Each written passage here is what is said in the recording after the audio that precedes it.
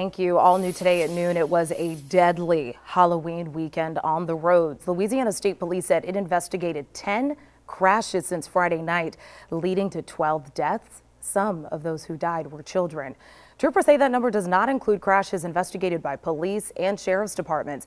They said over and over again they see distracted, drunk or reckless driving. And as we get into the holiday season with a lot of you traveling, they remind you to please be careful, put away those distractions, find a designated driver and follow all of the traffic laws. The most important one they say